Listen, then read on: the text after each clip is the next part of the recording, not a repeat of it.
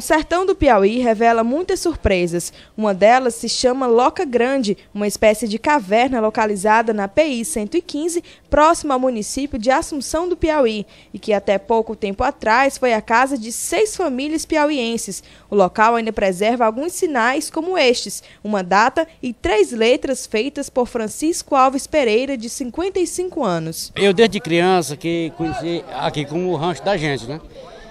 Só que em 1980 eu estava pintando uma bomba de folhar formiga para matar a formiga que corta feijão. Aí sobrou um resto de tinta. Essa tinta eu fiz aí.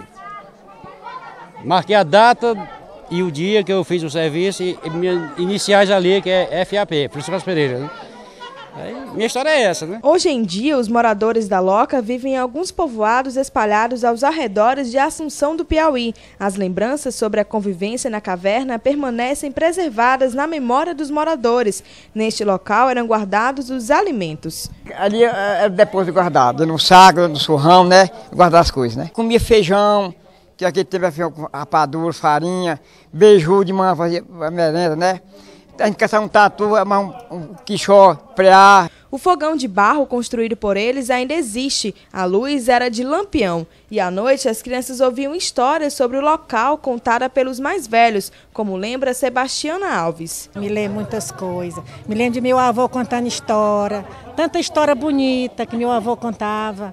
A gente ficava até 10 horas, 11 horas da noite só escutando. Ou ele contar história bonita de noite. Aí meu avô contava uma história que, que minha tia, uma cobra veio enrolou no braço dela, né? Ela deitada na rede. Aí meu avô contava que ela dizia, domingo, domingo era meu pai. Domingo, tem uma cobra enrolada no meu braço. Aí depois joga o braço pro lado de fora da rede que a cobra cai. Quando a noite surgia, eles deitavam em redes armadas em troncos de madeira como este, o único que sobrou, esperando o dia seguinte para voltar ao trabalho na roça. Aqui tinha uns armadores de pau, igual esse que tá bem, né? Tinha os armadores, armavam as redes aqui, de lá do final da loca até aqui, né? Lá do final até aqui, aqui na frente. E era, era todo tempo, era, era da, da planta à colheita, né? Era da planta à colheita. É, quando terminava, quando você terminava de, de fazer a colheita, aí quando chegava o mês de dezembro, a gente ia para a destoca das roças de novo para plantar de novo, né?